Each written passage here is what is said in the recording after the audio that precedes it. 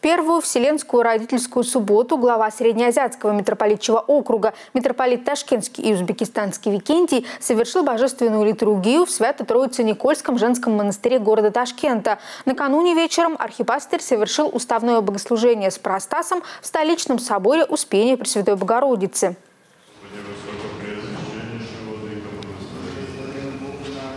За божественные литургии прихожане причастились святых тайн, а после богослужения митрополит Викентий совершил панихиду по всем от века усопшим православным христианам, после чего обратился к молящимся с архипасторским словом. Владыка отметил, мы надеемся, что нашим усердием, милосердными делами, добрым расположением к окружающим мы в дни Великого Поста сможем восстать от греха и с помощью Божией искоренить свои страсти и тем самым приблизиться к Царству Божию. Но также уповаем и на то, что нашими посильными трудами трудами и молитвами Господь исцелит и души отшедших людей, наших близких, которые, может быть, находятся в печальном состоянии страдания и мучений за содеянные грехи.